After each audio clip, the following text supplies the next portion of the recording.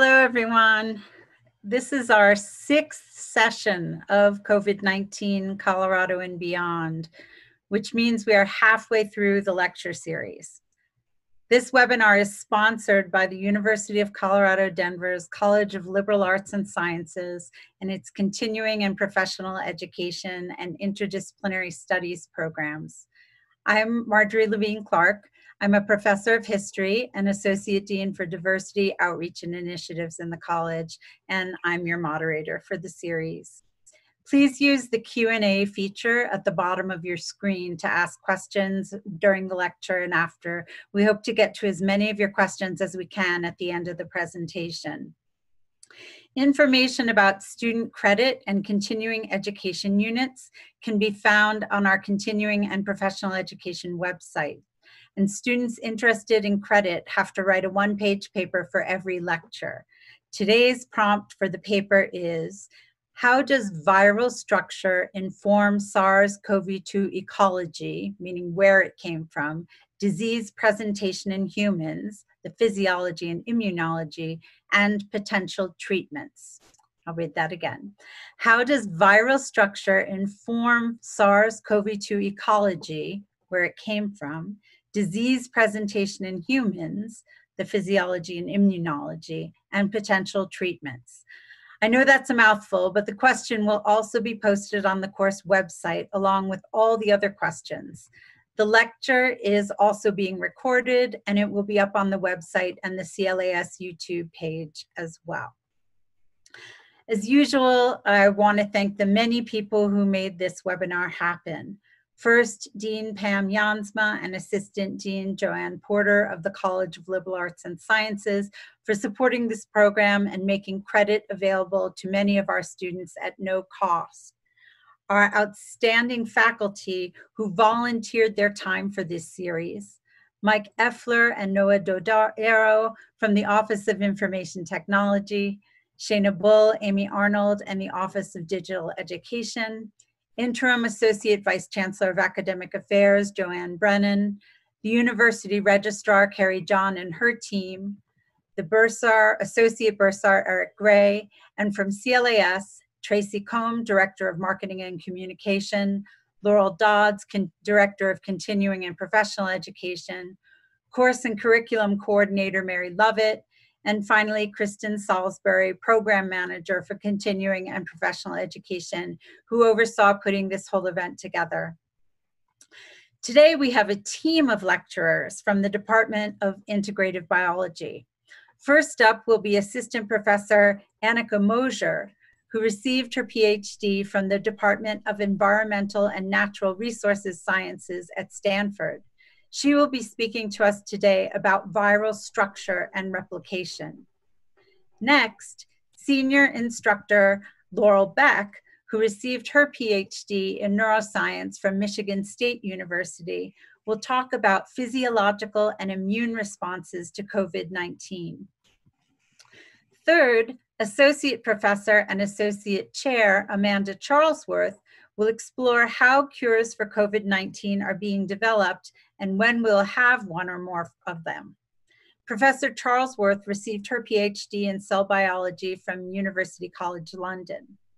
To close out the presentation, Associate Professor Laurel Hartley, who received her PhD in ecology from Colorado State, will look at where the coronavirus came from and how we know that. Their lectures have been pre-recordedly pre-recorded, so hopefully the tech gods and goddesses will be good to us today. So I turn it over to Professor Amanda Charlesworth to run the uh, recording. All right, thank you very much. Just give me a second here to get organized. Hi, my name is Annika Mosier, and I'm going to talk to you today about the SARS-CoV-2 viral structure and replication. So when we talk about viruses, they're often defined as obligate intracellular parasites. And they're called that because they're really simple structures that don't have their own metabolism, they can't create energy, they can't respond to the environment, and they require hosts for replication. These hosts might be animals or humans, plants, insects, as well as unicellular organisms like bacteria and archaea.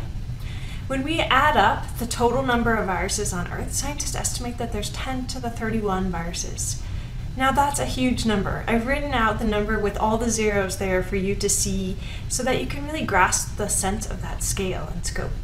We think that there's 10 million times more viruses on Earth than there are stars in the universe. Collectively, those viruses have a really big impact on Earth.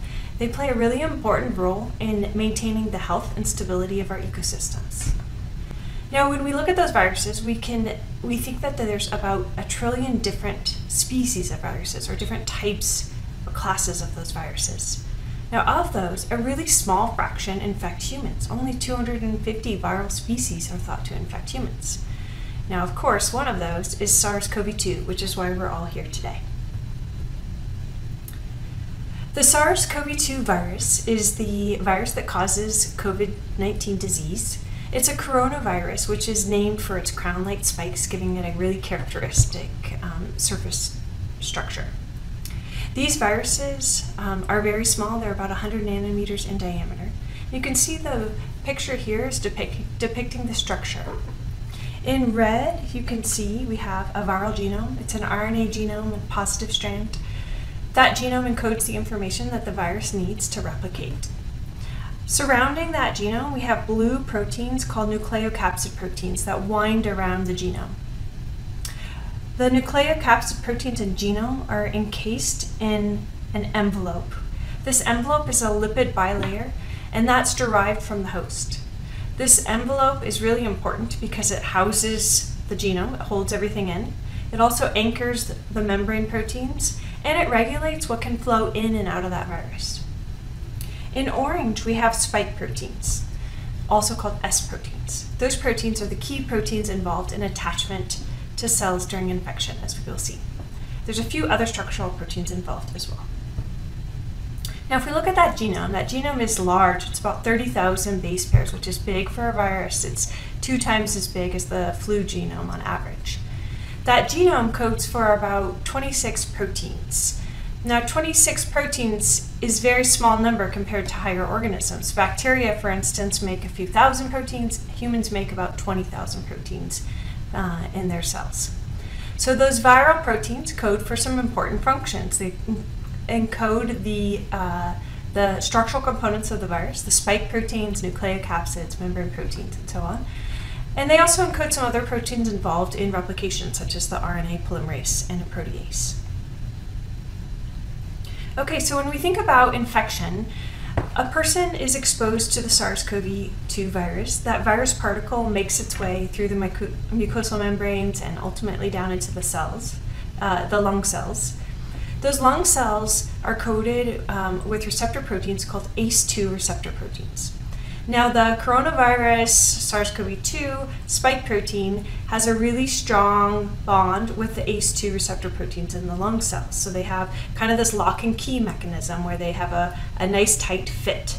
The strength of that bond is, uh, is stronger or greater than what we see in other SARS viruses, and so that it contributes, we think, to why this new virus infects humans so efficiently.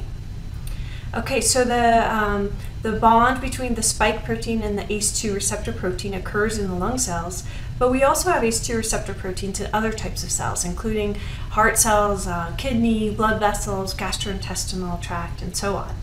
So we think that the large number of ACE2 receptor uh, proteins in the human body contributes to why humans are particularly prone to SARS-CoV-2 uh, infection.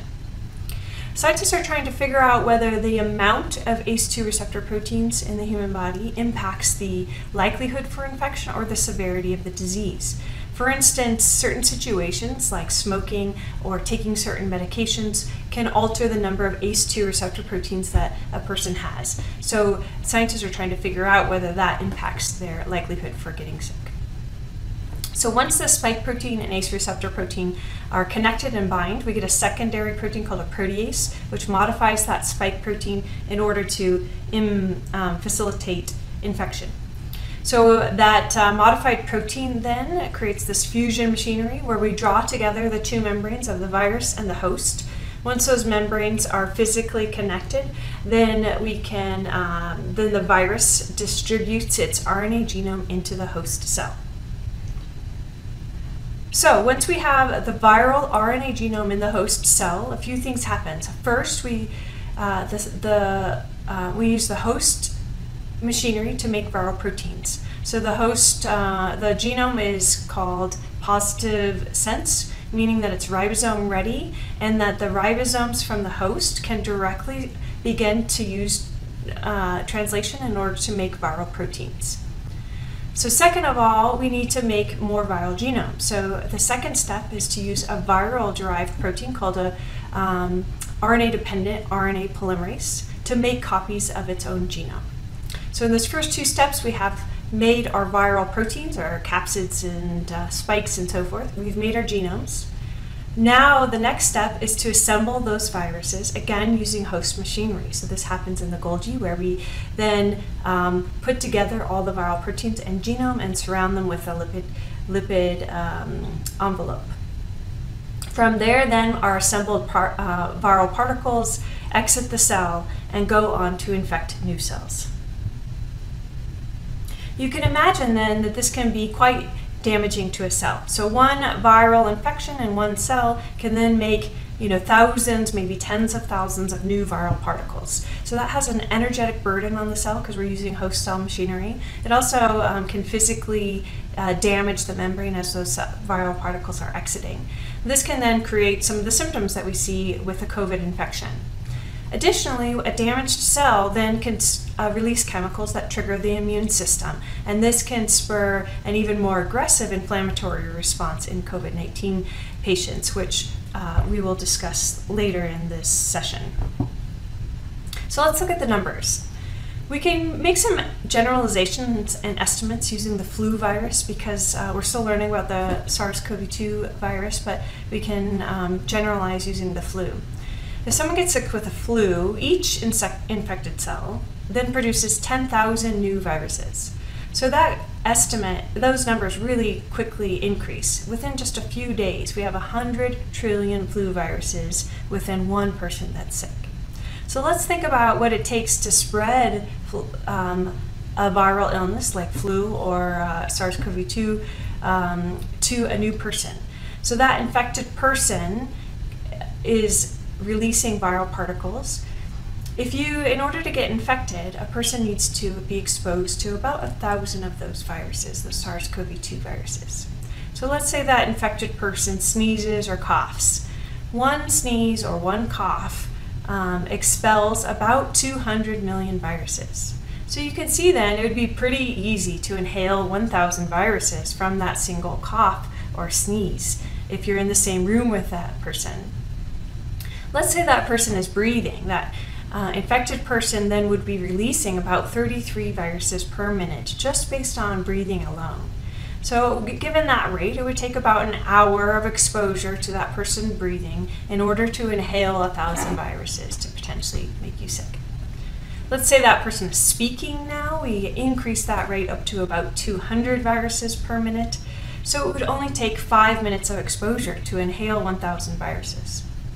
So you can see, all in all, it's really quite easy to get exposure to enough viruses to make you sick.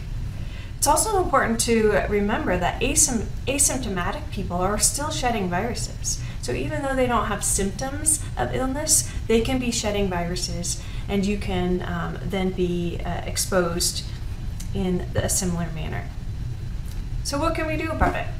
So um, we luckily have good old fashioned soap and disinfectants in order to help combat SARS CoV 2. The way this works is that um, soaps and disinfectants target the lipid membrane or the envelope of these SARS CoV 2 viruses. So our um, our lipid membrane is made up of phospholipids, which have a phosphate head and a lipid tail. Now these, this, these phospholipids have hydrophobic and hydrophilic regions, and that what that means is that those portions of the molecule either have a tendency to bond with water or avoid water. So this is our um, viral envelope, viral membrane. And now our soap molecules have a similar chemical feature where they have also hydrophobic and hydrophilic regions. So those soap molecules start to um, insert themselves into the viral membrane and they kind of act like a crowbar where they pry open that um, lipid membrane. Once they pry open that membrane, then the virus essentially falls apart. It no longer has the membrane to hold everything together. So we our lipids fall apart, our spike proteins fall off, our genome releases. And now we no longer have an intact viral particle to go through that infection and replication process that we just described. So we've effectively destroyed the virus. So soap um, works in a similar manner as we see with disinfectants, which often contain ethanol that can also um, interfere with the viral envelopes. Now we can also combat this virus with masks. We can take advantage of the size uh, of this virus. So the SARS-CoV-2 virus again is about 100 nanometers in diameter. The N95 masks, which are the the high profile masks, so to speak, they're really effective at removing small particles. So they can remove particles in that range, 100 to 300 nanometers. So they can physically block the transfer of viruses in and out of that mask. Now, the surgical and cotton masks, which are more widely available, they're less effective, far less effective, for blocking these small viral particles because of the fabric, uh, nature of that fabric and the pore sizes of those fabric.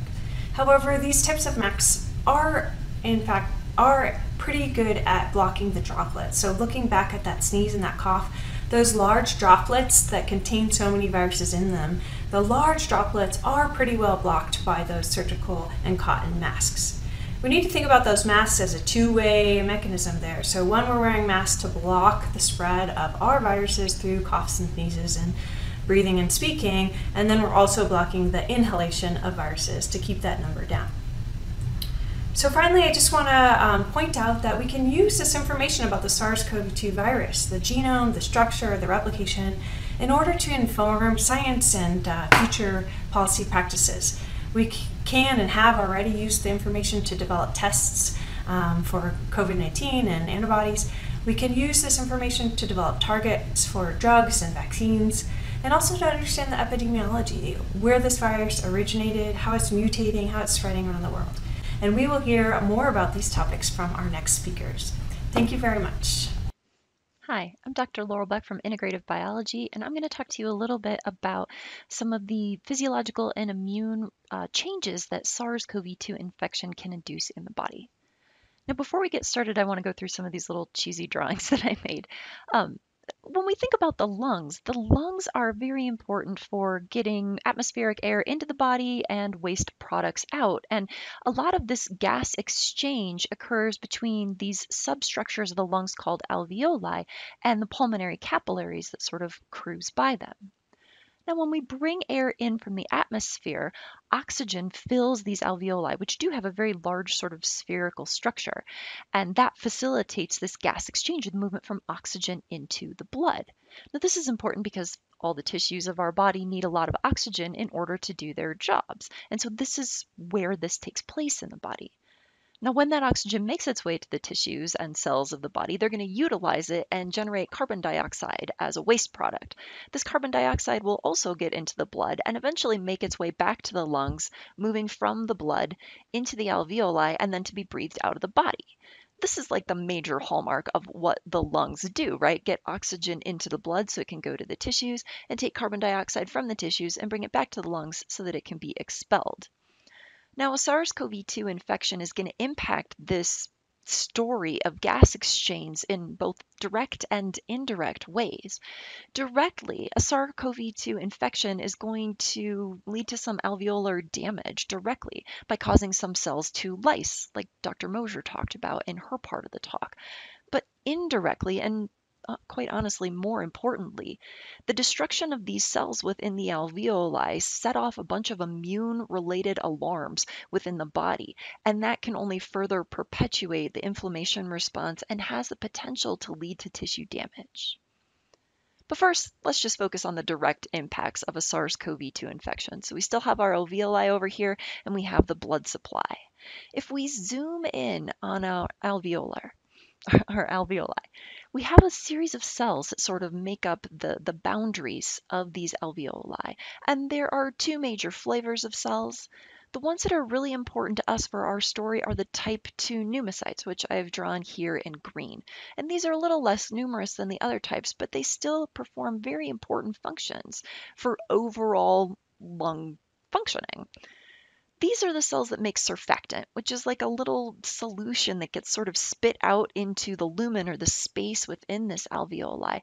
And they really help reduce surface tension, and it's very important for the ease of lung inflation. Now, why this matters is because these type 2 pneumocytes have a lot of those ACE2 proteins on their surface, which makes them very strong targets for a SARS CoV 2 infection. And if SARS-CoV-2 is inhaled, makes its way down to the alveoli, makes its way into contact with these cells, then these cells are likely to be lysed and destroyed and release more viral particles within the lumen of the lung and potentially other places as well. Now, in a healthy lung, where these type 2 pneumocytes are prevalent, making their surfactant, everything is great, the alveoli are allowed to maintain that nice large spherical shape. The ease of gas exchange is there, and the lungs can inflate and do their thing appropriately. But when you start destroying some of those surfactant producing cells, it can lead to some alveolar collapse. It can lead to more strained breathing. And not only that, but it leads to then a collection of a whole bunch of debris and other stuff and junk within the lumen or the space of these alveoli. Now, when these alveoli get damaged, they really struggle to do their job effectively, which means then you can get less oxygen into the blood for the tissues and less carbon dioxide out of the body, which is ultimately not great. So, this is one way in which a SARS CoV 2 infection can really impact respiratory physiology, but we can't forget about this part we have all these little bits now floating around inside of our alveoli. We have viral particles, we have cellular debris, and most important for this part of the story, we have cytokines.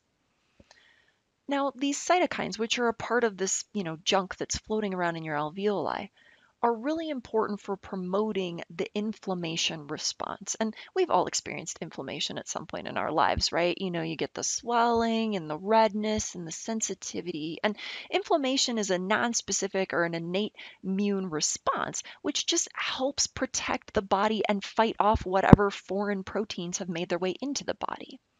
And so again, the goals of inflammation are to help destroy foreign proteins. We send in cells to engulf and attack cells that are um, exposing these foreign proteins and these viral particles. But the inflammation response also helps to protect our body against future reinfections at this exact moment in time. Now for our story, these lysed cells, these broken cells, damaged cells following a SARS-CoV-2 infection are going to release these things called chemokines. And these are a very specific subtype of cytokines that really serve to help attract immune cells to the area. And this is what really gets the immune response going with a SARS-CoV-2 infection. So we have our damaged alveoli, we have all these little bits floating around inside of them, and these little bits and including these chemokines, don't necessarily stay inside of the alveoli. They make their way out to help, again, recruit immune cells to the site of infection. These chemokines will also help draw the attention of local macrophages. So macrophages are these types of immune cells that live naturally within the alveoli. They're found in a lot of different places that have a lot more direct exposure to the outside world. And their job is to really help clean up cellular debris, but also they can secrete a whole bunch of other flavors of cytokines. And these cytokines will help, again, also attract more immune cells to the location. But one in particular, this IL 6, seems to be very important in COVID patients. While IL 6 can help recruit more leukocytes to the site of interest, it also helps actively promote cellular destruction. And while in theory it should just be impacting those cells that have been infected with SARS CoV 2, it has the potential to impact and lead to the destruction of other healthy cells in the area as well. Not only that, but what um, early research has pointed to is that actually this IL 6 is really, really elevated in these COVID patients. Now, IL 6 and the other cytokines don't necessarily stay in there, they also make their way out of the alveoli as well. So we have these chemokines coming from the damaged cells. We have IL-6 and other cytokines coming from the macrophages, and those are going to make contact with the receptors on your blood vessels. And it's going to lead to a vasodilation of those blood vessels or an expansion in diameter. Not only that, which will help increase blood flow to the area, but also these cytokines will help increase permeability of these blood vessels as well, which means that things that can't normally get out of these blood vessels, like cells, and protein, and plasma, now have sort of an exit point. And ultimately, this is a good part of the immune response because we want cells like white blood cells to be able to make their way from the blood supply into the alveoli so they can help fight off the infection. One of the populations that seems to be particularly important in a SARS-CoV-2 infection are these neutrophils. So once we get a vasodilation and we get a leakiness of these blood vessels, these neutrophils can move from the blood into the alveoli. And once they get there, they'll continue to secrete cytokines, but also a lot of other toxic chemicals. And again, in theory, while this would only impact those cells that are infected, it can actually lead to the destruction of healthy cells in the lungs as well. Now, not only will the neutrophils do that, but they will also help clear up some cellular debris. Um, and there's some evidence that suggests that, again, in severe COVID cases, there's actually an entrapment of these neutrophils at the location. So they will continue to stay there, continue to spit out cytokines, continue to spit out other various toxic chemicals, which can lead to extensive lung damage. Not only are there neutrophils and other types of leukocytes cruising around in the blood, but there's also these inactive complement proteins that exist in the blood, which are also a part of this innate immune response. Now, when they're just floating around in the blood, these things are pretty inactive, but once they make their way to a site of inflammation, they will then become activated. And this sets in motion a whole series of events that leads again to the tagging of cells that are expressing foreign proteins, but also potentially the sort of inadvertent tagging of healthy cells and can also promote their destruction as well. So with all of these cytokines that are being released initially at the site of the alveoli, you end up with this vasodilation and these leaky blood vessels, which means that these cells and these proteins and plasma itself can get out of the blood supply, and this ends up leading to issues if it goes unchecked. Now, the cytokine storm is really the effect of this sort of idea of what we call positive feedback in biology, where one thing leads to the continued production of that thing. And this is what happens with these cytokines. You get the original release of cytokines from the damaged cells and from the macrophages. You recruit more leukocytes or white blood cells to the site of infection. They continue to release cytokines, which then stimulate more and more and more. And if this goes completely unchecked, it can have some disastrous results on the lungs. Now, again, a little bit is good. That's what we want, right? We want to recruit white blood cells. We want to make sure that we clear out all of these infected cells. But again, if it goes unregulated, it can lead to some really serious side effects. With an unregulated cytokine storm, you can get too much plasma leaving from the blood vessels, and it can lead to the alveoli, which really impacts gas exchange, right? The ability to get oxygen in and carbon dioxide out. Not only that, but there are a bunch of toxic chemicals that are coming out of all of those leukocytes that have made their way into the alveoli, potentially damaging healthy cells.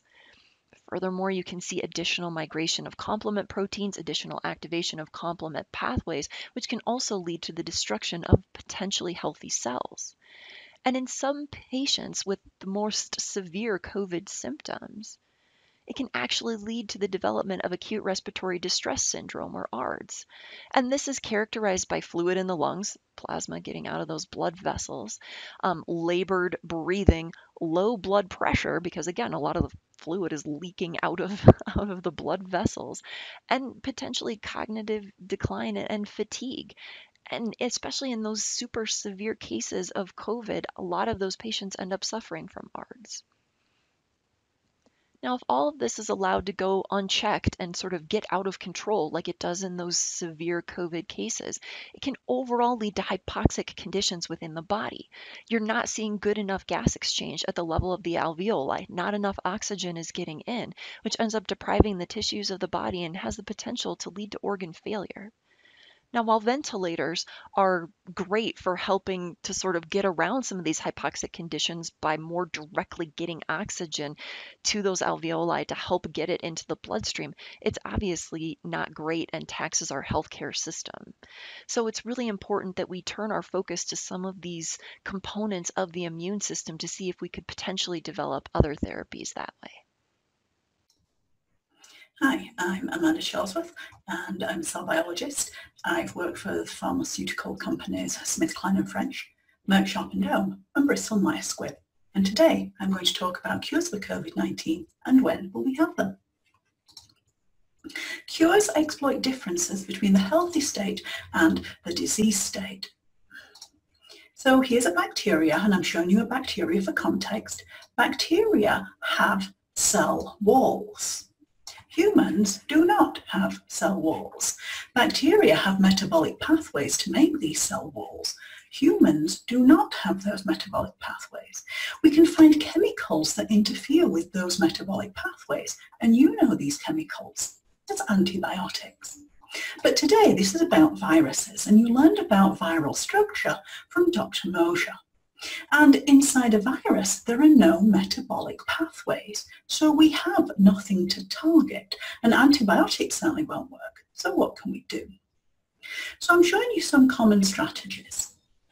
Again, contrasting bacteria to give you some perspective. So here's a list of some bacterial diseases, cholera, salmonella, staph, strep.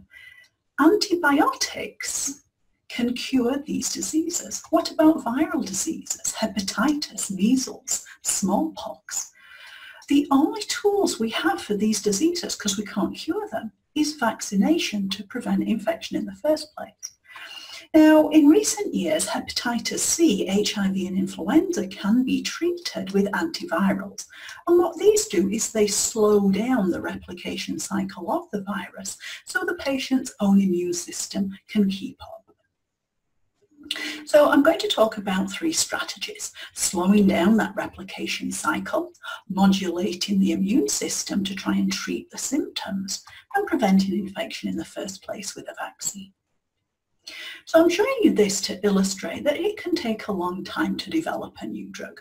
So not only do you have to find a chemical that targets the disease state and not the healthy state and make sure it works in intact animals with no side effects and you've got a manufacturing process to make pure product with no impurities, then you have to get it into humans, into phase one trials and then phase two and then phase three and each of these steps can take years. But we're in a pandemic now. Can we speed this up? So I took this quote from this article. Rather than taking years to develop and test compounds from scratch, the World Health Organization and others want to repurpose drugs that are already approved for other diseases and have acceptable safety profiles. So let's start with strategy one, slowing the replication cycle. This is an outline of the replication cycle and you saw something similar from Dr. Mosier. This is the virus, here's spike protein, here's the ACE2 receptor. That interaction allows genetic material to come into the cell where a large polypeptide is made that then gets chopped up into smaller proteins. Some of those proteins uh, then go on to replicate the virus's genetic material. Some of those proteins go on to package that genetic material into a new virus particle for release. Remdesivir was originally developed for Ebola and it works at this step here. It slows down or prevents the replication of uh, viral genetic material. So is this working for COVID-19 patients? And the answer is yeah, it seems to be shortening the hospital stays of some of COVID-19 patients. It's also entering a new trial to see if it can be used as a preventative, but we don't know the answer to that yet. Hydroxychloroquine was originally developed for malaria and it's also used to treat lupus and rheumatism. And it's thought to act on this mechanism of entry into the cell. So this is different than the ACE2 mechanism. Here the virus comes in in an intact compartment and has to get out of the compartment to infect the cell. Hydroxychloroquine is thought to prevent that step. So Does it do anything for COVID-19 patients? No, it doesn't. But it is entering new trials to be used as a preventative, and we don't know the answer to that yet. Lopinavir and ritonavir were developed for HIV, and they act at this step here. They prevent the chopping up of this larger polypeptide into these small functional proteins. So does this work for COVID-19? No. What about convalescent plasma? So this works at this part of the infection cycle here, and this is where blood from a patient who's recovered from COVID-19 is taken, the antibodies are extracted and given to a second patient, and they coat uh, the virus particles, those antibodies bind to the spike protein, they prevent interaction with the ACE2 receptor and prevent infection that way. Does it work? Actually, yeah, it does. But this is a really sophisticated medical procedure and it only occurs in hospitals, but it is there as a last resort. What about strategy two, modulating the immune system? So the first question is, do we suppress or boost? And you learn from Dr. Beck that the immune system is actually causing a fair amount of damage itself, so maybe we should suppress it. But if we do that, how are we going to clear the virus? Maybe we should boost it. Well, maybe the answer is both. And this is what this strategy is right here. So maybe early on in the infection cycle in the first couple of days, maybe we boost those initial cytokines that rev up the immune system. And one of them is interferon beta. And that's already used in multiple sclerosis. And then in the middle of the infection, this is where there's the hyperinflammation. Maybe at this point we should be suppressing the immune system. And this is where dexamethasone comes in. It's a general anti-inflammatory and it works on those leukocytes that you've just learned about. And it reduces the levels of cytokine that they're releasing and it reduces that cytokine storm. And the great news is it's already been shown to reduce mortality. A cytokine that's particularly elevated in COVID-19 patients is IL-6. And there's a drug, tocilizumab, that is uh, designed specifically to target IL-6, and that's already being used in autoimmune disorders. And then maybe at the end of the infection, so after this inflammation is under control, maybe it's time to boost the immune system again to clear the virus. And this is where we introduce a new immune cell. T cells. And these uh, um, treatments here, IL-7 is a cytokine that revs up T cells and it's already used in sepsis. Nivolumab uh, reactivates T cells in cancer patients. But the problem with nivolumab is that it can bring on a cytokine storm itself. And so whenever you're modulating the immune system, this has to be done under really close medical supervision because of the Jekyll-Hyde nature of the immune system. So what about strategy three, prevention of infection in the first place? So we have to talk about immunity first. So this is the infection cycle again. This is the virus being released from that cell. You already learned about macrophages, how they clear up all the cellular debris from the first round of damage of the viruses. And these macrophages, after picking up these uh, viruses, they present little pieces of viruses to immune cells, different immune cells. So we're talking about T cells and B cells. And this arm of the immune system doesn't really get going for a couple of days. It's delayed compared to inflammation. But after a couple of days, the B cells are making the antibodies that bind to the spike protein to neutralize the virus. And the T cells are destroying viral infected cells. But here's the clever part about this part of the immune system.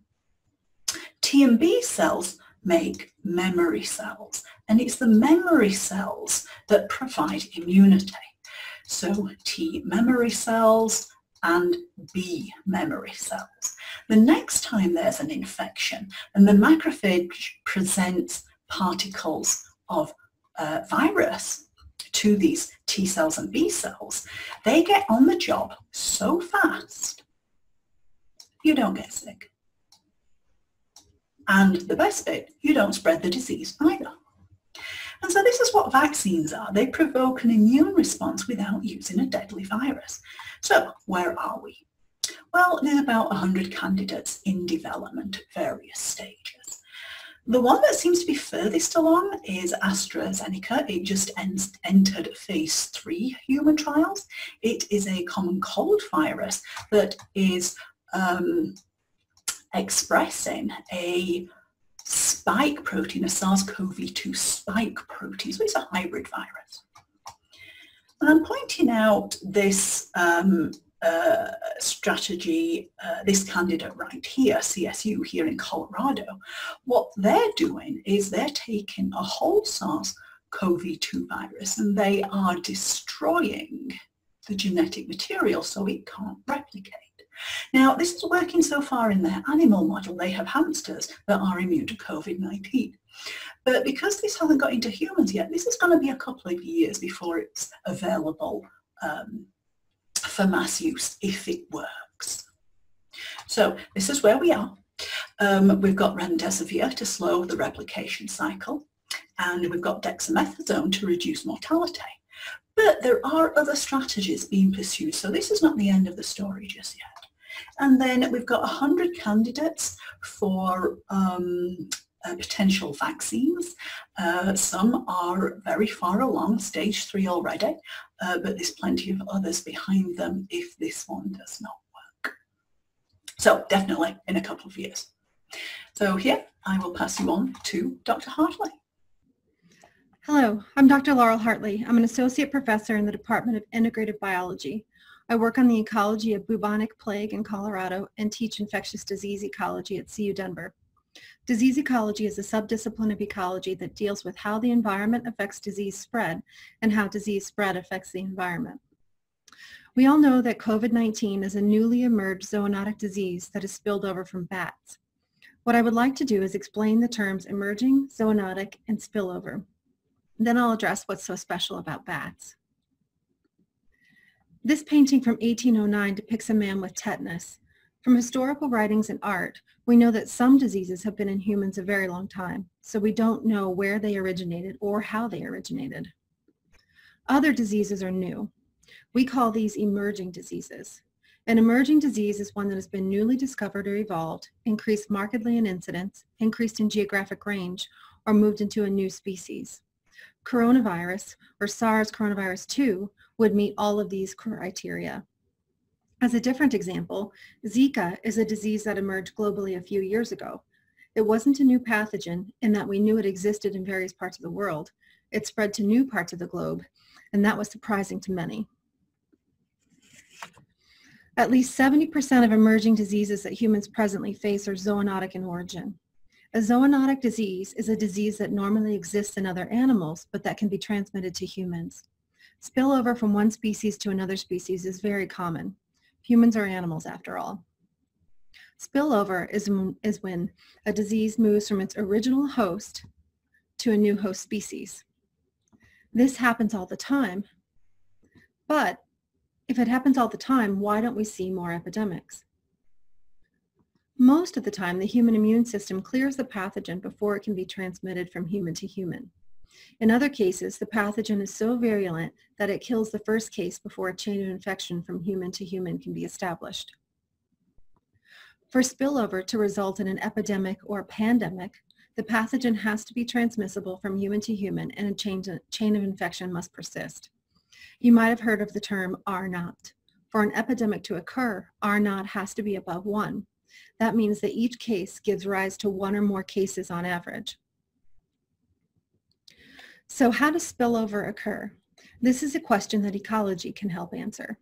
For spillover to happen, there has to be niche overlap between the original hosts, the pathogen, and humans. Here's an example of how ecology helped discover the origins of Nipah virus. When Nipah virus emerged, scientists tracked cases and saw that there was a higher prevalence of cases during date palm sap harvest and consumption. This image shows a person installing a tap and collector bucket for date palm sap. Using motion-activated cameras, scientists were able to see that bats would visit these collectors in the night. They would drink above them, perch on them, and defecate or urinate in them. The bats were spreading the virus. Spillover can be a single event with two species, the human and the original host, or more often, it's a complex set of events. This is the scenario for Ebola virus. Bats are the original host of Ebola. Humans can get Ebola directly from handling or consuming infected bats or fruit contaminated by bat saliva. Or humans can get Ebola from consuming or handling infected intermediary hosts that got the virus from bats. As I mentioned earlier, 70% of emerging infectious diseases are zoonotic in origin. Ecologists like me believe that spillover is, a, is leading to more zoonotic outbreaks because of ecological changes in our environment. For example, agricultural practices put agriculturally important species like swine, chickens, and cattle in high densities and in places where they overlap with wildlife. In this image, you can see pigs foraging underneath where bats are roosting. Habitat fragmentation and loss changes ecological communities. This image is about Lyme disease. Urbanization or suburbanization leads to an increase in populations of white-footed mice which are the most competent hosts of all of the Lyme disease hosts. So changing environment changes the relative amount of organisms or species that you see. Increased globalization, meaning movement of people and goods, means that infected individuals or vectors can move very far, very fast. When they move, they find a new pool of susceptible humans to infect. Climate change is also increasing some infectious diseases. For example, climate change is enabling tropical mosquitoes to expand their range into more temperate regions. Okay, back to the bats. The news hasn't covered much about bats and disease until recently, and that was only because of COVID-19. However, for a long time, bats have been a major focus of disease ecologists. Here's an excerpt from a scientific paper published in 2015, and there are hundreds of papers about bats. Viruses that originate in bats may be the most notorious emerging zoonoses that spill over from wildlife into domestic animals and humans. Here are some of the notorious diseases that have come from bats. Nipah virus, Hendra virus, Marburg, Ebola, and coronaviruses, including SARS, MERS, and SARS-CoV-2. So how do we know this? How do we know that these diseases are coming from bats? Well, ecologists, microbiologists, cell biologists, and virologists all work together to trap animals, sample their body fluids, isolate pathogens in those fluids, and compare pathogen genomes among species. SARS-CoV-2 in humans is very similar to, to coronavirus in a horseshoe bat. Until recently, US, USAID had a program called PREDICT that went around the globe working with partners to surveil animals that live among humans and take those samples and find out what was living in them. So why bats? Well, there are both ecological and immunological reasons. We'll start with the ecological. Bats and potential reservoir hosts in humans overlap in habitat. For example, bats can roost in barns where pigs, chickens, and cows are raised. Further, some bat species roost together in high densities where they can pass pathogens back and forth to one another and then bring them into the, the rest of the environment. There are also biological and immunological reasons. Bats and humans are related. This means they have some similar pathways that pathogens can exploit. Bats also may have a peculiar immune system that allows them to harbor a variety of pathogens without getting sick. It's been hypothesized that there may be a relationship between flight and low virulence. During flight, bats show an increase in metabolic rate and thus body temperature. This is comparable to a fever response and that makes replication of infectious agents, which are temperature sensitive, less favorable. So bats can harbor pathogens without getting sick. But I want to give a disclaimer in that bats aren't villains. In fact, bats provide really important ecosystem services like pollination and eating mosquitoes. So in summary, I want to say that we exist in environments and so do other species and diseases. And understanding ecology of disease is vitally important to global health. Thanks. Well, that was great. Um, can we get you all to unmute and put your videos on so we can have some question and answer. That was so seamless tech-wise. I'm very happy about that. Um, so we have a question to start with for Professor Mosier. Um, why do only 250 viruses infect humans? If there are so many viruses, you would think more would infect humans based on pure chance. Yeah, great question. And it's it is in fact quite surprising when you look at those staggering numbers of viruses out there uh, in uh, on Earth. Um, and the answer comes in part from you know viral structure and uh, and host structure, but also some of the things that Dr. Hartley talked about with spillover. Um, part of the reason that there are so few times that this event has been successful is that you know we, we have to have the two animals coming into contact with each other the virus has to persist long enough outside a host to uh, stay alive and increase the chances of that uh, likelihood of that contact um, as I was saying, there has to be a high enough viral load, uh, the exposure to the human in order to make them sick. Um, and perhaps most importantly, that lock and key mechanism that I was discussing between, in this case, the spike protein on the SARS CoV 2 virus and the ACE2 receptor on the host. Um, that lock and key mechanism is very specific. So, a viral structure has to be just right in order to be able to infect the host, the human host cell. So, most of the viruses that we encounter um, don't have the right mechanism. They can't match up with a human host cell and can't enter a host. We block the infection right away. Um, and then, of course, uh, as we discussed a little bit, um, many viruses um, are um, able to evade, uh, they have to be able to evade the human immune system in order to build up high enough numbers to go on and spread to other humans. So our immune, uh, immune system is really quite effective in that way that we can actually get rid of many of the viruses that we do encounter. So it's a complex process that has many, many different variables, including others I didn't answer. And so that's why despite the you know trillions of viruses out there that only a small number can infect humans. Great, thank you. Um, for Professor Beck, do bacteria and other organisms have cytokines or is it something unique to mammals? I'm sorry. I don't know. Microbiologists, do you get one for this? I'll jump in. Yeah. Um, no, they don't. Not that I know of, and nothing I've read about. Um, not exactly, but they do have similar chemicals. Bacteria are able to release molecules in a similar way, and they can use those molecules to communicate with themselves or with other bacterial species. There's processes called signal transduction and quorum sensing, um, where they have these molecules to kind of send out messages. Um, they also can release molecules that modify the host immune system. So they're similar to cytokines, but not the exact same function. Okay. Another one for Professor Beck. Why do COVID 19 symptoms or lack thereof vary so widely from person to person? Is there any way to predict how this virus will impact an individual before they are exposed to it?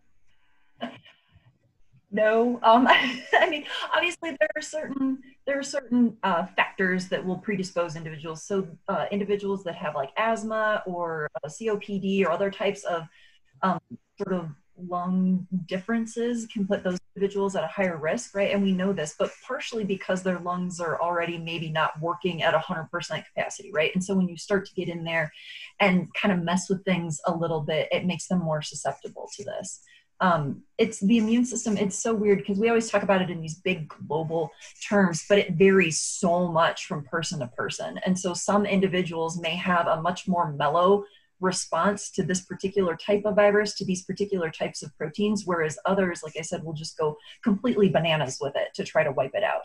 And in those cases that tends to happen or that tends to be more prevalent in those individuals um, that are experiencing the super severe symptoms Thanks. Yeah. into that? Um, another thing to think about is the ecology of a human as an environment. And one thing we don't really understand is how other pathogens that that human could have encountered in the past or be encountering currently could result in um, antibody dependent enhancement or other interactions between um, pathogens within a single person. Right. There's Telepathy something- answer. Yeah, sorry, you reminded me of something, and now I was like, oh, right, this. Um, so for some individuals, if you've already been exposed to one flavor of coronavirus, you may already have some of that antibody memory inside of your own body. And there's some evidence, there's some papers that suggest that individuals that have already had a very similar coronavirus in the past, which a lot of times when you hear about like summer colds, a lot of those, like the cold that you get in the summer, a lot of those are actually coronaviruses. Um, and so if you've been exposed to a lot of those, then your cells may already, your immune cells may already be producing antibodies that are like close enough that it can help mitigate some of these dangerous uh, side effects. So you may get an individual that has less of a response because their body's already been sort of primed to deal with this kind of thing before. Thank you. Um, for Professor Charlesworth, um, why do vaccines take so long to make? Is it a matter of making sure that they're safe for humans or that they're effective at triggering a strong enough um, immune response? Yes, and yes. So, uh, are we done? Um, so, safety is a big issue. Some of the viruses that are being designed are actually live viruses. Uh, they make the best immune response, but they're live viruses and they're weakened first. And they have to be weakened to a safe level. And that's hard to figure out. How do you know when you've got a safe level of a weakened vaccine? So that's going to take a, a, a long time to figure that one out. And then the at the other end of the scale, some of the simplest vaccines are um, just uh, directly against, say, like the spike protein. Um, it's uh, a very small part of the virus. It's um, what's it called, a toxoid. It's a toxoid vaccine. And is it going to work? And so we don't even know if something as small as just giving a, uh, the spike protein is even going to provoke an immune response. And the only way we can figure that out is by trying it and testing it. And it takes, while the immune system can kick in fairly quickly, to see these lasting effects of an immune response, we're talking months at a time. And so each round of um, optimization takes months at a time. So, yes, safety and whether it's going to work, yes, all takes time. Yes. Thank you. Um, so I'm not sure who this is directed to, but with a larger virus genome than other viruses, is this one more likely for mutations to occur? I can take that. Um, in yeah, in essence, the the more copies, the longer the genome, the more chances there are to make a mistake. So, as the virus is trying to make copies of its genome during the um, replication cycle, the longer it has to go, the more chances there are for mistakes to occur. Um, fortunately for us, the rate of mutations is actually quite low for this um, virus. So the SARS-CoV-2 virus is mutating quite slowly, which is good because that means that it's less likely to gain a mutation that impacts its infection and the severity of that infection. So sometimes with viruses, we see as they're mutating, they can become even more infectious or more dangerous. So with this virus, it's mutating quite slowly, um, which um, can help us in terms of predicting how this um, pandemic is going to play out. It can also help us in developing these treatments and vaccines to minimize the likelihood of a change happening in the future, um, negating the effects of those treatments and vaccines. This virus has a proofreading enzyme, so it has the ability to go through its genome and check for mistakes and fix those. So that has helped in this case to minimize the rate of mutation. I love that language, that it has the ability to proofread itself. right. Great. Yeah. Um, again, so why does aging cause the symptoms of coronavirus um, to become more severe with increased morbidity? Anyone?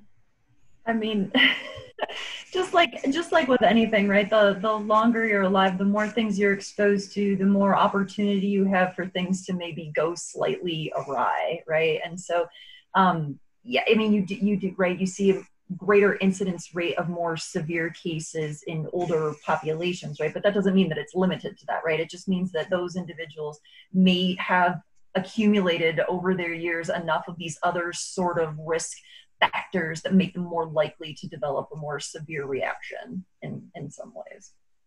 Amanda. Yeah. And also, um, these sorts of things, why are, why are people more susceptible than other people? Um, I do want to make it known that yes, all of this data is being collected and it is all being analysed. Uh, we don't know all the answers yet, but we're very certainly working on it. Now, there's a couple of um, ideas out there regarding the age of patients, and one of them is that simply the immune system doesn't work as well the older you get. And this might even impact who gets a vaccine uh, when they become available. And the, uh, the last lecture in the series is about vaccines, and so you might hear more then. Uh, and the other uh, piece of research that's going on at the moment, and I don't know what the outcome of this is going to be, is that it might be the, the state of the blood vessels, which um, so uh, children have very flexible blood vessels. As you get older, they harden. There is a change in the blood vessels, and this might also contribute as well and it might be the state of the blood vessels. So there's all sorts of ideas out there. Um, there's lots of research being done. We just don't have all the answers yet. Right. But we are seeing a lot of young people now um, testing positive for, for the virus as well. Right. probably because they're being less careful, um, right, about using masks and social distancing, uh, right? But their morbidity is is lower. Yeah. mobility, yes. Yes. All right. Well, I think that's all the questions we have. Oh, no, one more just popped up.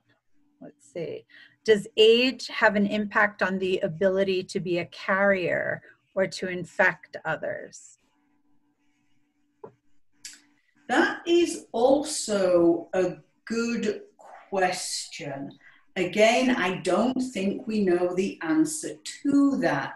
The only thing I have read, and um, uh, one of the earlier lectures was making this point. A lot of what we know, what we think we know at the moment, is coming from preprint servers. And so these are studies that have not been rigorously ripped to shreds like we like to do in science. Uh, but one thing I have read is um, children may not be as infectious as adults. I haven't seen anything about older people being more, older adults being more infectious than younger adults. The only thing I've seen is children, but again, these are all studies from preprint servers, and we have to wait for that body of knowledge, multiple studies to give us the answers to these questions. Um, do we know where viruses evolved in the first place? Uh, as it mentioned, as was mentioned, they've been around since the beginning of human time. Um, I guess that would be me. Um, well, the question was the question where they evolved in the first place. Where, uh, how, yeah. Yeah. Um, you know, honestly, I haven't read a lot about um, the evolution of viruses in the first place. Um, there's a lot of theories about bacteria and um, viruses require a host in order to uh, replicate. So I would guess that they would have evolved after um, they had suitable hosts. Um, but for bacteria and archaea, the really simple microbes that are thought to have evolved early on Earth, um, they are, you know, there's a lot of hypotheses uh, about where that might have happened, like hydrothermal vents or um, um, even you know warm ponds where we can get organic matter and an energy source. Um, there's uh, experiments that have shown that we can get really simple cell-like structures given the right chemical and physical conditions in the environment. So um, I have not read a lot about evolution of viruses, but I would again guess that it happened pretty early on, the very simple structures that um, have the ability to replicate as long as they have a suitable host. All right, and I think this is our final question. Um, if bat saliva, urine, etc., dries, can it still spread disease? I can take that one. Um, yes and no. It depends on the the pathogen that's being spread. Some viruses and bacteria are hardy and they'll last a long time. Some are pretty wimpy and they won't last very long. So it depends on it depends on what it is inside that saliva or urine. But there, it's definitely true that that dried material, fecal material, and urine could spread disease for sure. Right. Well, thank you all. This was, and thank you for your seamless video. It was wonderful, and I feel like I learned so much today. Um, great. So next week, uh, we have Lisa Keränen, who's chair of the communication department, and her lecture is going to be on how language shapes how we understand pandemics. So um, I'm really looking forward to that. Thank you again to Professor Hartley, Beck, Charlesworth, and Mosier. Great. See you next week, everybody. Bye. Bye.